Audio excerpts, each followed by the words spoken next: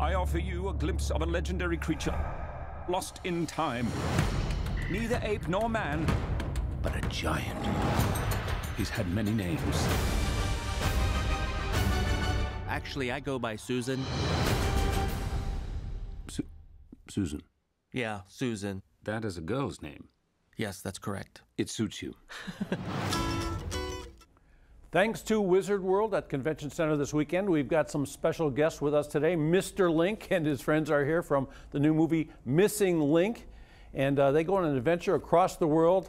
Look at these guys. Are they something? They traveled here to let everyone know they will be at Wizard World. They're going to be booth 719 if you go. It's at Convention Center. They're going to be there today, tonight. They're going to be there Saturday. It's at the Huntington Convention Center. It's going to be a lot of fun. Look who else is there for all you fans of Aquaman and Game of Thrones. Wizard World, March 8th through the 10th. They'll be there uh, tonight and tomorrow, and uh, going to be a lot of fun things going on there. We've got Missing Link right here. He's about 800 pounds, uh, eight feet tall.